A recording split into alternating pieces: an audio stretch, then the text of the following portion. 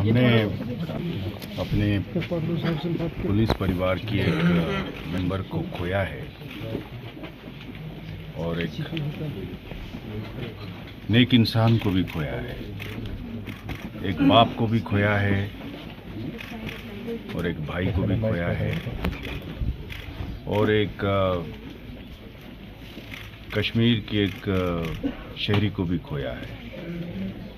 और हमने यहाँ पे सारे अफसर मेरे जो जितने साथी ऑफिसर हैं एडिशनल डीजी साहब हैं डीआईजी साहब हैं एसएसपी साहब हैं एसएचओ साहब हैं, हमने इस चीज़ की तय किया है कि हम इसके तह तक जाएँगे और कातिल को ढूंढेंगे और कातिल को मदद करने वाले जो जो इसको किसी भी तरीके से मदद किए हैं, हर एक को कानून के दायरे में लाएँगे। सर। हम अभी इस वक्त इन्वेस्टिगेशन की डिटेल आपके साथ नहीं शेयर कर सकते करना नहीं चाहिए।